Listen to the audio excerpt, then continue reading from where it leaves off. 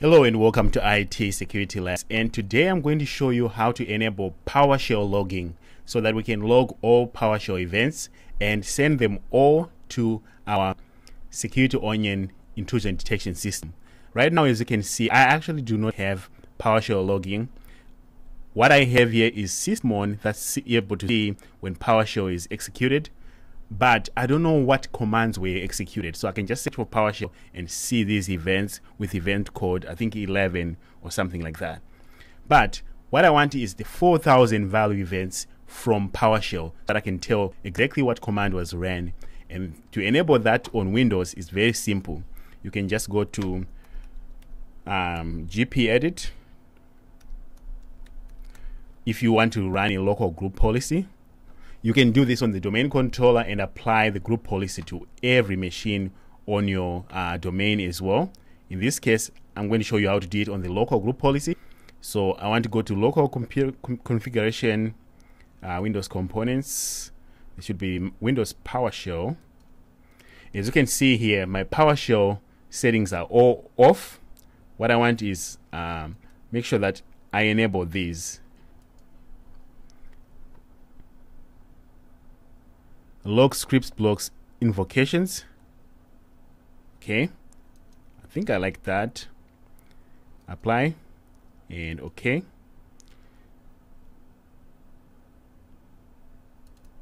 PowerShell transcription I want that too. So this enables me to generate a lot of logs. Make sure that you are aware of the noise that this can actually enable for you. But since I want PowerShell I want all of them. Alright so now that I did that, the next thing I need to do is open my Wazuh agent. As you can see, I'm running a Wazuh agent here for endpoint monitoring. It's already running.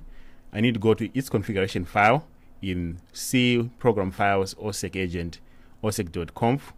You want to right click, edit this file. And in this file, what you want to add is this block here. It does not show up in here by default. So you want to make sure that you have uh, local file and it says hey we want a Microsoft PowerShell operational. And that should be it. You just hit save exit and do a GP update quick. So run GP update force. This should force our group policy to update on our machine.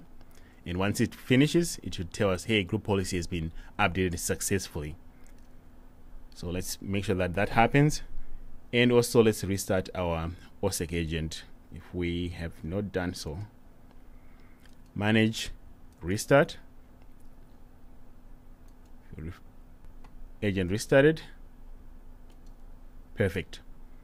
So now, after the group policy object applies, we should now see that we will getting PowerShell events. So let's open PowerShell here. Right, group policy su successfully updated. PowerShell ISE. Alright, while PowerShell is loading, let's search for the event code. Dot code. Uh, we want 4104. That's for execution. And let's refresh.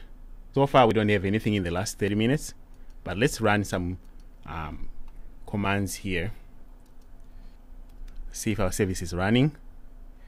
Get service sysmon everybody's happy. So I just asked PowerShell for a few things so we can as you can see go here. Here's PowerShell events. So here's um the command that I just ran to get sysmon so I know it's actually logging because it says source is PowerShell it was logged. All right. All right so coming back to our security onion if we just look for this event code uh, 4107 we should see events for, for when I searched for Sysmon and also when I searched for the Wazuh agent. So here the PowerShell events coming through.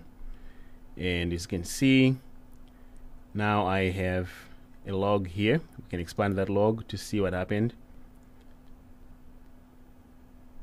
all right the message.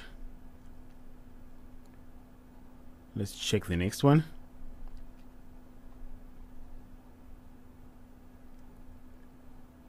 Alright, so PowerShell logging is actually working. Because here's get service name sysmon64. So we actually have PowerShell logging uh, going on here. Otherwise, thanks for being here. This was a setup video, and I will see you next time.